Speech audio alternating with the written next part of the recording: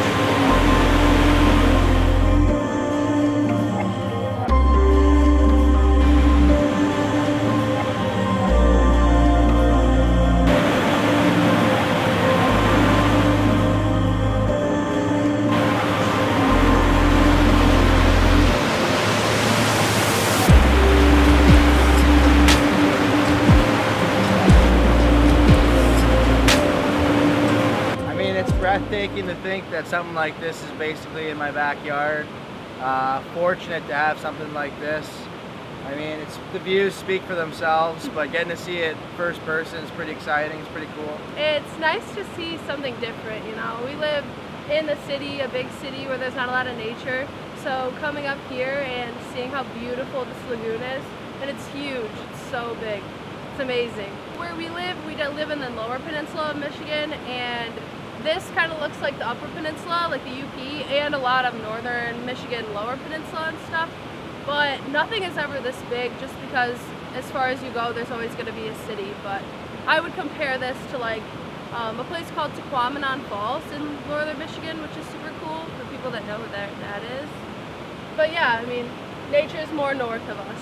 You gotta come check this out. It's a must-see in nature. It's almost like an attraction. Normally attractions are human-made, man-made.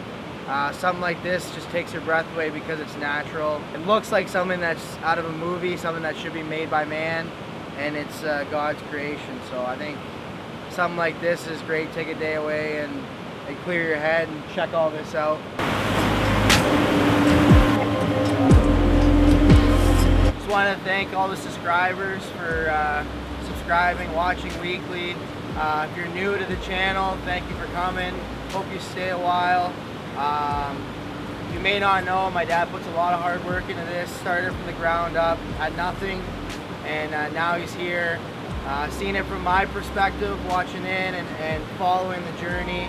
It's exciting for me to see the passion and dedication. Uh, long drives, long hikes, a lot of video, a lot of editing.